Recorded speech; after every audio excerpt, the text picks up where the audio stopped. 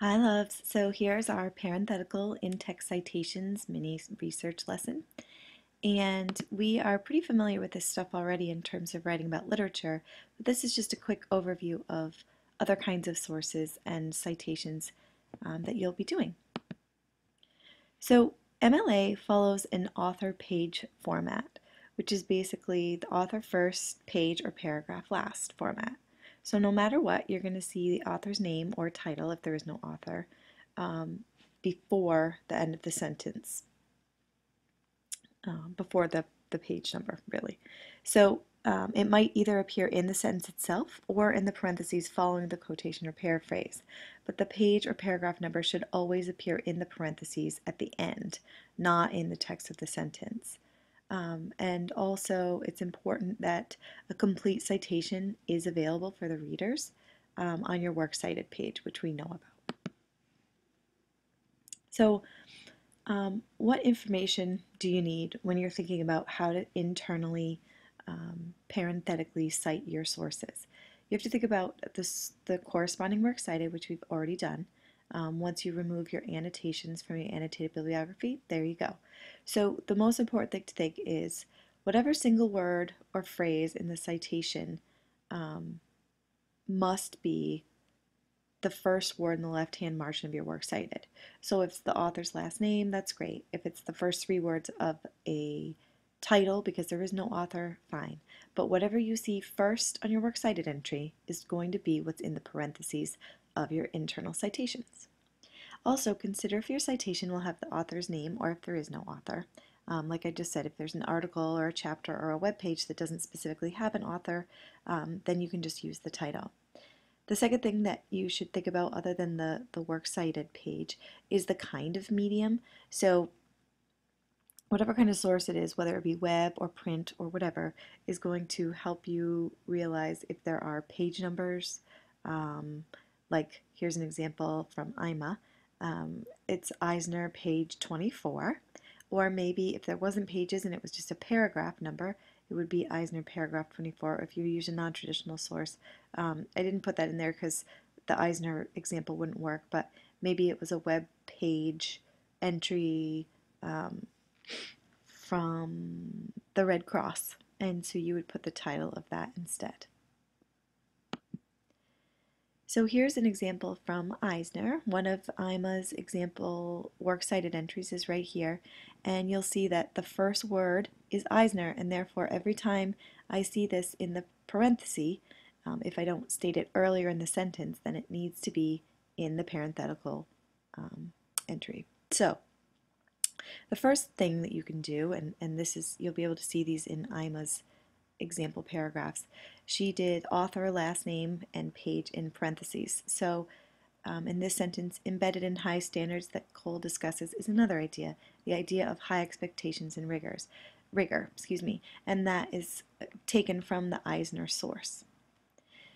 Here's another Eisner quote. Um, the author in the sentence, uh, at the first time of the paper, you'll see what she does, and then the page is in parentheses. So she writes, standards seem like a logical answer to reverse that decline. Without expectations for students, it is difficult to outline objectives to actually measure if the students can do the skills or if they are deficient, as Elliot Eisner, professor emeritus at Stanford School of Education, asserts. So by creating clear standards, lawmakers were sound in their thinking.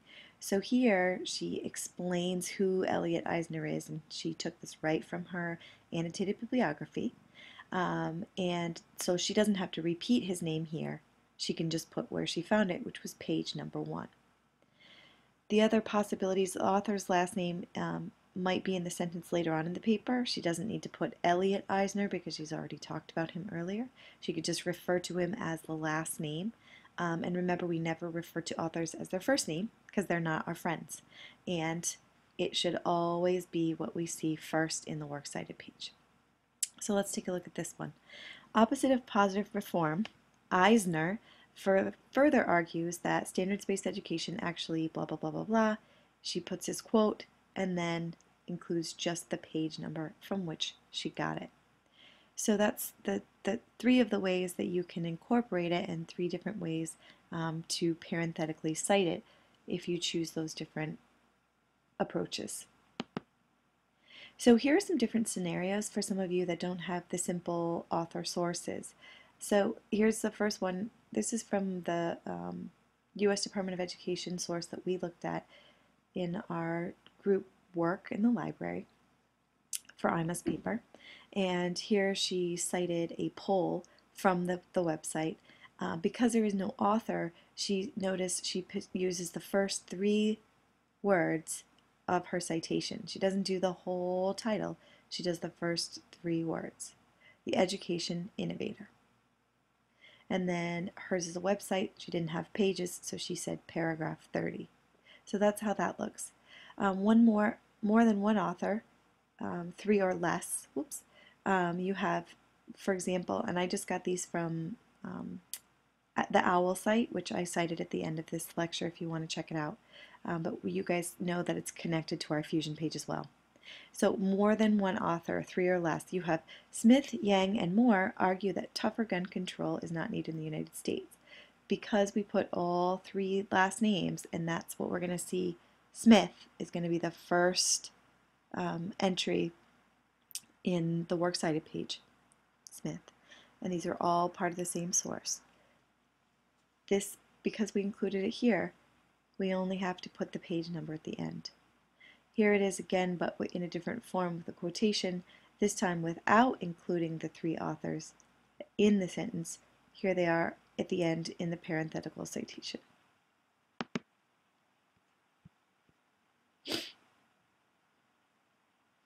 Um, some more different scenarios, more than three authors. Um, we use something called et al., which is Latin for and others. And oops, I forgot the parent, the close quotation, sorry. Um, here's an example. Legal experts counter their thesis argument by noting that the current spike in gun violence in America compels lawmakers to adjust gun laws. And that's Jones, which will be the first thing I see in the work cited, but et al. indicates that there are more than three authors, and I would just need to look at the works cited page to figure out who those people are. Another different scenario is what if you have two works by the same author in your works cited page, which some of you do? That's really easy um, you just instead of naming them by their name, you just use their title. Um, notice that this person used just too soon, um, two of the, the first words in the title, and this was the three words in the title. So both of these are by Lightener, which you would be able to see in someone's works cited page.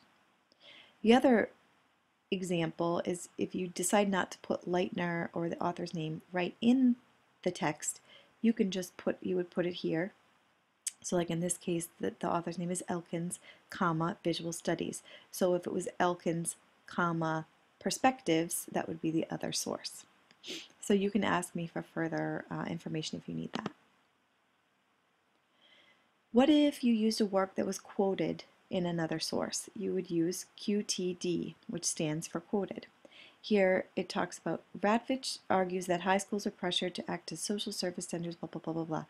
Now, this is quoted in Wiseman 259. This is the source that is in my works cited page. I'm not going to cite Ravitch because I don't have his work. This person that is in my works cited page quoted this person, and so that's really important to note. Another scenario, um, or other scenarios, if, if you come to any kind of confusing ones, you can either ask me or just check out the MLA Formatting and Style Guide at the OWL at Purdue. And here's the link if you want to copy and paste, and it's also um, connected to our Fusion page. So, you're going to do awesome. Um, so just to recap, double check that all citations match the first word or words you see in your works cited. All sources in your paper must be represented in your works cited, and all paraphrases and quotations must be cited to avoid plagiarism. Good luck, and let me know if you have any questions.